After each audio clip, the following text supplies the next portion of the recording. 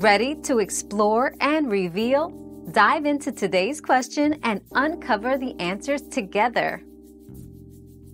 Yes, you can remove scratches from a stainless steel watch, but the method depends on the depth of the scratch. For superficial scratches, a simple DIY solution is to apply a small amount of toothpaste to a soft cloth and gently rub it on the scratch in a circular motion. Rinse with water and dry.